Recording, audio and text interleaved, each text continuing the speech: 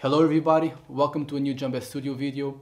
Today I'm just going to share with you a solo lesson taken from the members area of Djembe.studio, my new membership website. So just enjoy it. And if you want to become a member, of course, just click the link or go to Djembe.studio and you can start your free trial and check out everything inside the members area. That's it from me. Enjoy the rest of the video. Bye. Hello and welcome everybody to this solo lesson number six here in the solo lessons section of Studio. Today I'm going to share with you a very cool and simple technique, although a little bit difficult to execute and you'll understand why in just a second. As always, I will demonstrate it first and then we'll play along with the metronome and then we will hear this solo technique in a small solo context uh, with a backing track. So let's go. Here is the solo technique. One, two, three, four.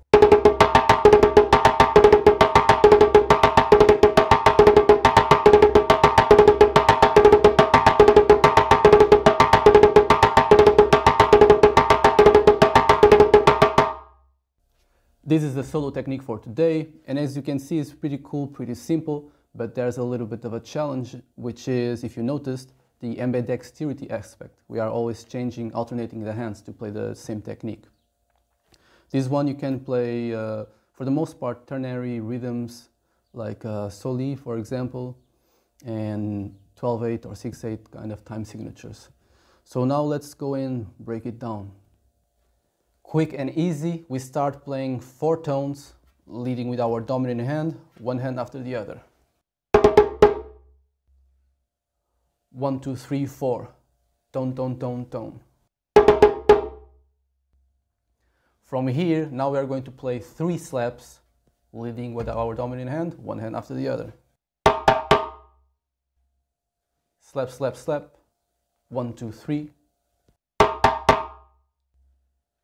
All together from the beginning.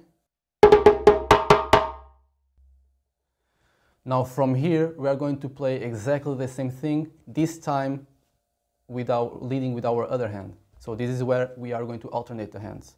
So same thing, four tones, this time leading with our other hand, one hand after the other. Tone, tone, tone, tone, one, two, three, four. Followed by three slaps, leading this time with our other hand, one hand after the other slap, slap, slap. One, two, three. So everything together from the beginning.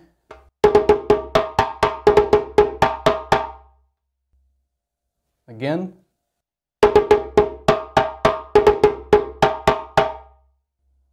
And it goes like this. One, two, three, four